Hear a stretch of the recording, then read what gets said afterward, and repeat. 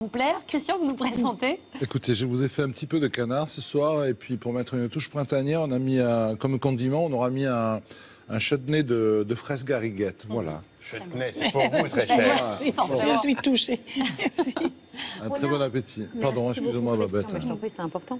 On a entendu il y a quelques minutes quelques-unes des chansons qu'il y a sur cet album, euh, Les Amours Mortes, La Javanaise. En tout, il y a 21 chansons que vous avez choisies et elles ont toutes en commun de parler d'amour, mais d'amour un peu triste, de rupture, de séparation, d'absence.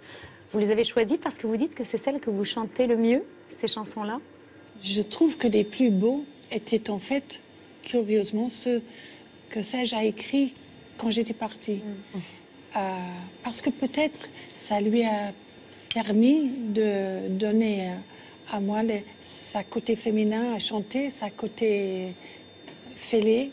Et il a gardé pour lui euh, la Marseillaise, le- et puis You're Under Arrest, et, et les tu- tubes, parce qu'ils sont devenus des énormes tubes, euh, pour lui-même, comme si il fallait garder les, les deux côtés. Alors, il s'est exprimé à travers moi, mais en fait, c'est lui. Les deux chic, c'est la pudeur des sentiments, c'est lui, c'est pas moi. Il vous faisait chanter aussi qu'il vous avait donné le meilleur de lui-même. Il m'a fait chanter une chanson qui était une chose entre autres. Et en effet, dans les paroles, c'était une chose entre autres que tu ne sais pas. Tu as eu plus que nôtre le meilleur de moi. Et je pense que c'est vrai que j'ai eu vraiment le. Le meilleur de ça. Oui, oui, oui, oui, oui. Et vous chantiez ça en studio, il était de l'autre côté de la vitre, et vous pouviez voir son émotion. Oui, c'était surtout pour Babylone et Babylone. J'ai pu voir pour les deux chic notamment où fait le bonheur. Enfin, chaque jour qu'il arrivait au studio, il plantait devant le Richum et moi deux chansons qu'il a écrites dans la nuit, épuisé, fatigué, avec les cafés noirs et les cigarettes. Voilà, voilà, je te dois ça. Bon, j'ai dit non, tu me dois rien, arrête, arrête. Et il tenait à, à ce disque, à me faire un disque, alors qu'on n'avait pas de contrat, il n'y avait absolument aucune raison. Et ce que je pouvais faire le mieux, c'est de chanter le plus haut possible et le plus juste possible et de comprendre ces mots. Là, je suis contente avec la philharmonique, enfin, que, qu'on comprend aussi bien les mots, que Nobu m'a permis de passer euh, comme un instrument et qu'on entend vraiment la beauté de ces textes aussi. C'est merveilleux que vous continuiez comme ça à explorer ces textes Oui. Encore euh, des, années, euh, des années après dans des versions différentes. Alors votre retour, Jen, était particulièrement euh, attendu par vos fans. On est allé les rencontrer lors d'une séance de dédicace de ce nouvel album. Regardez. Mesdames et messieurs, bonjour. Je vous prie d'accueillir Jane Birkin, s'il vous plaît.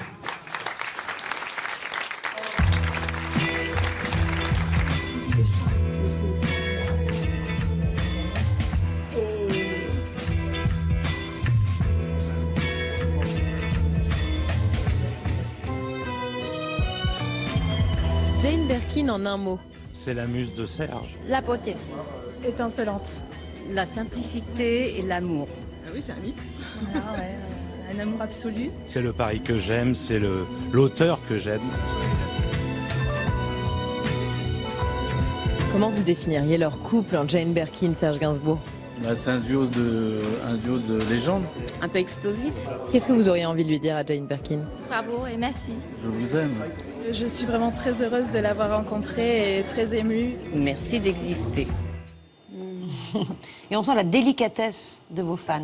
Vous inspirez cette oui. délicatesse. Écoute, oui, ils sont très touchants. Hmm. Anne-Elisabeth. Vous êtes extrêmement délicate, vous aussi, parce que vous avez eu l'idée de faire traduire le texte de vos chansons pour votre public à l'étranger, parce que vous allez partir en tournée avec cet album à Tokyo, à Lisbonne, à Varsovie, et pendant le concert, les textes traduits des chansons seront distribués au public? Oui, c'était en fait une idée des personnes à Hong Kong. Oui. Quand même, vous chantez devant, je ne sais pas de combien de personnes, mais c'était c'était deux nuits de suite complets dans l'endroit de l'opéra, en fait. Et c'est vrai qu'ils ont fait traduire pas trop mal, en fait, en, en anglais, tous les textes de Serge, parce qu'à un moment donné, je les voyais tous avec la tête en bas, je me suis dit, oh merde.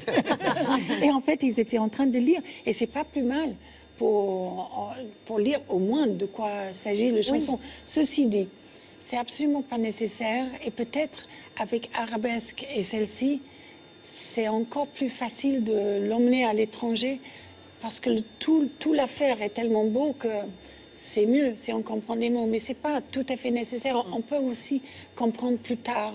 J'espère qu'un jour les Anglais auraient l'idée de traduire vraiment bien, peut-être une université, de pouvoir mettre avec le rime et puis avec le sens. Et comme ils ont fait pour Baudelaire, Apollinaire, après tout. C'est, ça serait vraiment... C'est l'étape suivante encore. Toujours plus loin. Alors, on a tous une chanson préférée de votre répertoire et on voulait euh, vous sou- soumettre notre, euh, notre playlist, notre choix. Jingle. N- Non, pas jingle. Il n'y a pas de jingle, c'est pas grave, ça m'arrive souvent en ce moment. Alors, on va demander à Patrick, par exemple, quelle est votre chanson chanter. préférée Non, non, bah, ah, je serais incapable de chanter. Jen, vous avez parlé tout à l'heure des chansons de quand vous étiez parti. Moi, j'ai choisi une chanson de quand vous êtes arrivé. C'est votre apparition. C'est le premier 33 tours, 1969, où euh, Gainsbourg euh, vous compose, vous écrit une chanson où vous vous présentez sur une mélodie à partir d'un prélude de Chopin.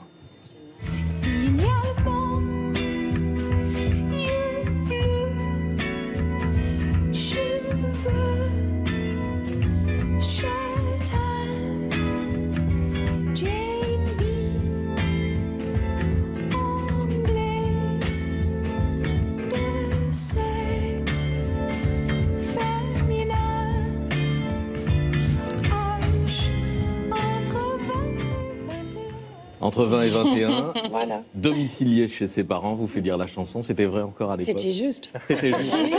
C'était vrai dans, la- Oui, dans oui, le oui. texte de la chanson. Oui. Il avait composé ça vraiment avec, euh, en essayant d'être fidèle à votre fiche signalétique de l'époque. Oui, j'étais vachement flattée parce que comme c'était Chopin, c'est vrai que c'était... C'est chic. Et je pensais que ça, ça, ça allait être le tube, en fait. Et pas jeter moi non plus.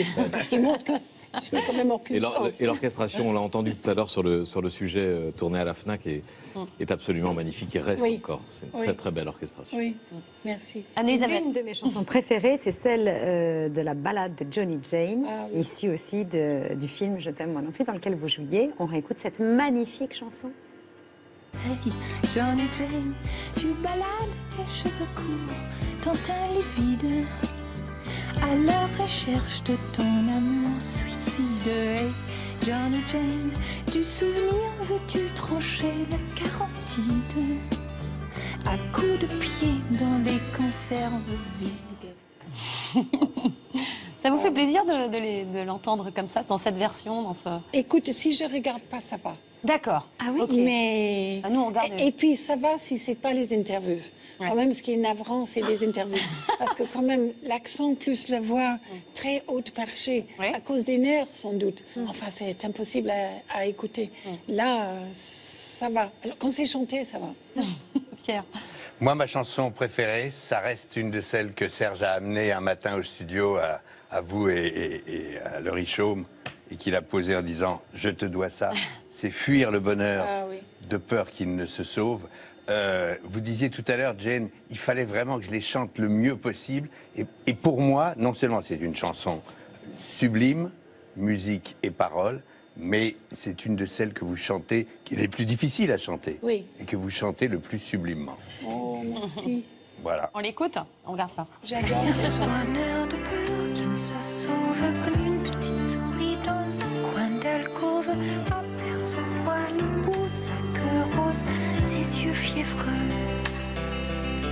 Fuir le bonheur de peur qui ne se sauve, se dire qu'il y a over the rainbow, toujours plus haut le soleil above, radieux.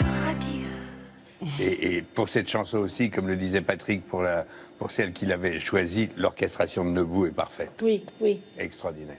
Et ben moi, c'est Babylon in Babylon. parce que c'est Brahms, parce que c'est vous. Et puis alors, parce qu'il y a toujours une raison personnelle euh, pour laquelle on adore une chanson. Et moi, ma mère me l'a chantée avec ce H dans voyez? Que, qui- qui- que je trouvais absolument magnifique, extrêmement prononcé. On l'écoute. Oh, merci.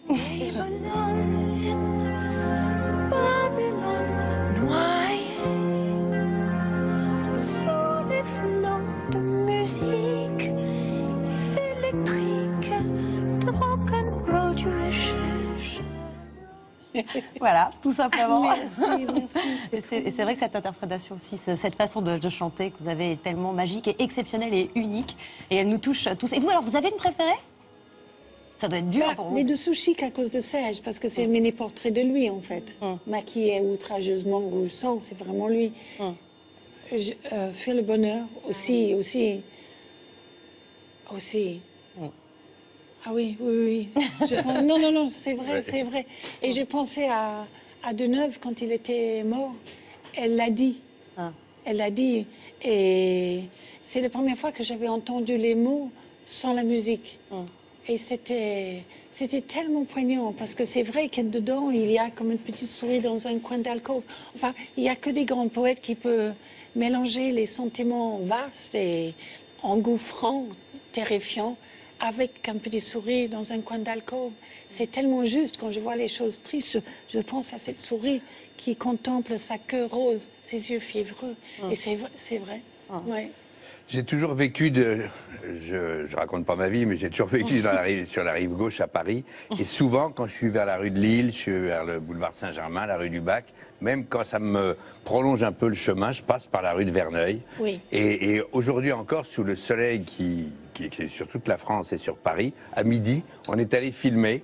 Et vous êtes sur les murs. Ah oui. Euh, c'est une exposition permanente à ciel ouvert. Et oui, ça, Euh, ça a changé déjà depuis quelques semaines où j'avais, j'avais fait des photos. Tout ça n'était pas là.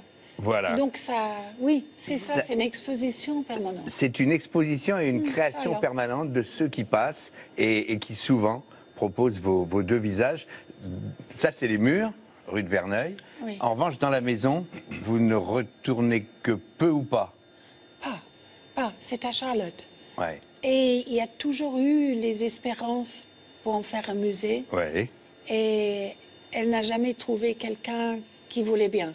Et c'est assez exceptionnel parce que tout de même, c'est, c'est resté identique aux nuits où Serge est monté pour la dernière fois. Donc Mm. vraiment, il y a tout.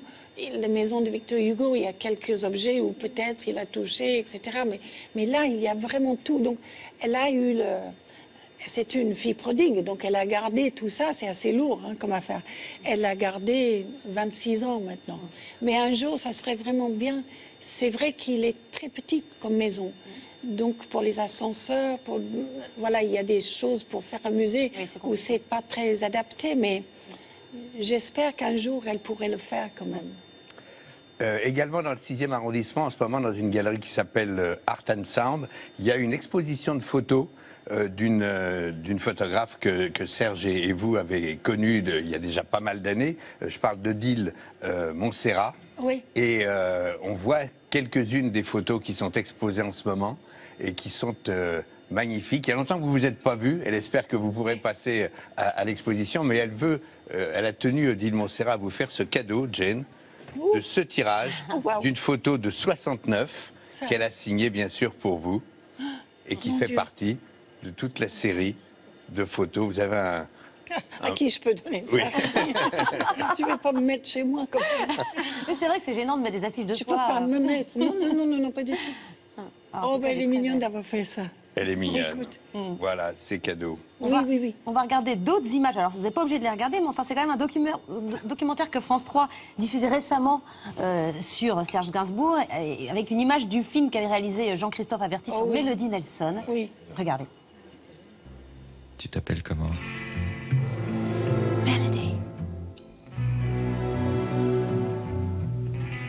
Mélodie comment Melody Nelson. Ça, c'est l'histoire de Melody Nelson. qu'à part moi-même, personne n'a jamais pris dans ses bras. Ça vous étonne, Vous étiez interrogé dans ce documentaire et vous disiez que vous n'aviez pas conscience que votre jupe était si courte lorsque vous aviez. euh, Alors, on l'a pas vu. On n'a pas vu. Non. Mais c'est vrai qu'il y avait une espèce de. d'un- Tout à l'heure, je disais audace. euh, J'étais euh, surtout très gonflée pour quelqu'un qui ne savait pas danser. Et Même il y a des, des épisodes où je me dis non, non, non. Quand Lou m'a dit, oh, quand même, j'ai vu sur YouTube. Et c'est vrai, franchement, c'est un culot monstre. Ça, je m'avais mis dans un panier, tu sais, avec les Ouais. de supermarché. Parce que j'étais quand même assez lourde. Et il était plutôt fragile. Donc, il il- il m'a mis dans un panier pour avoir l'air de, de me porter. J'étais content que pour avertir, c'est passé sur la télévision. Attends. Oui, Attends, absolument. juste, Absolument. juste. Mais c'était magnifique et, et très culotté pour, pour l'époque, Mm. pour un disque qui n'a pas marché. Maintenant, tout le Oui. monde l'a en Maintenant, référence, pas marché. surtout les auteurs, compositeurs. Ah, Mais à l'époque, ça n'avait pas vendu. Et d'avoir pu faire ça à 8h30 et de montrer aux Français, voilà, à peak time, je ne sais même pas si ça serait possible. Ouais, ben voilà. Alors l'hommage a été rendu. Je crois que c'est déjà l'heure du live. Je vois arriver vos musiciens. Il va falloir